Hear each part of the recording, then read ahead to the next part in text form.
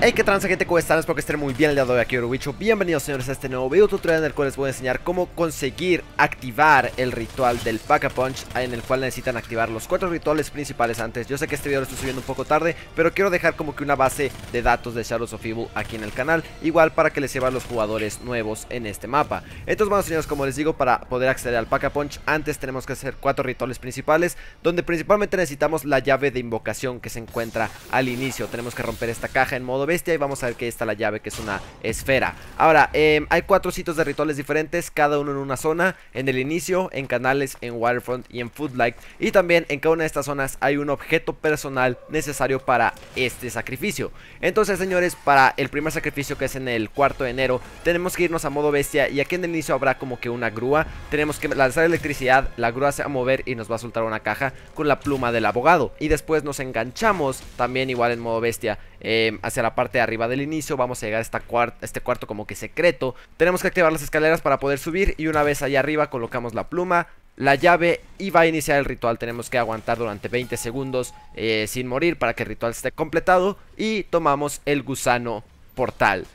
Después para el siguiente sacrificio en canales tenemos que conseguir la placa, para ello igual nos vamos a modo bestia. Y en la parte del canal, en el río, habrá esta pequeña caja justamente al lado de esta puerta grande. Tenemos que romperla, pero también tenemos que darle electricidad a este como que generador para que una reja que está eh, bloqueando la placa se abra y podamos tomarla. Después también tenemos que entrar al bar en donde tenemos que bajar y activar las escaleras para poder entrar. Entonces una vez adentro, nos metemos en la mesa, colocamos la placa, iniciamos el ritual, lo mismo, tomamos el gusano.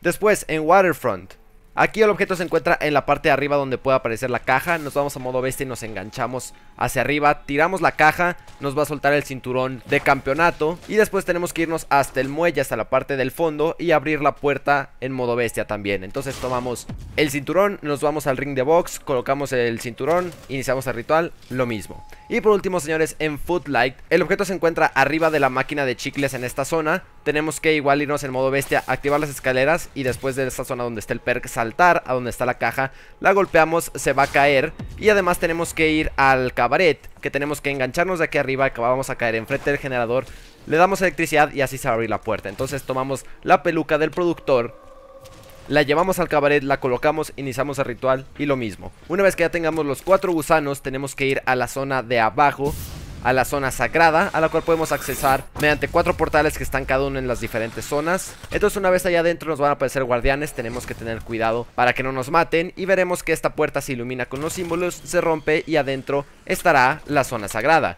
Colocamos un gusano en cada uno de estos cuatro pedestales, por último colocamos la llave de invocación en esta mesa y tenemos que aguantar igual unos 20-25 segundos hasta que el ritual sea completado y el Pack-a-Punch sea accesible. Entonces el Pack-a-Punch como pueden ver no es una máquina normal sino que es un portal en el cual le damos un arma y un pulpo o un tentáculo extraño nos regresa su versión mejorada. Y de esta manera señores podemos tener acceso al Pack-a-Punch en Shadows of Evil. Sea todo por este video señores, espero que les haya gustado. Cuídense mucho, nos vemos después. Adiós.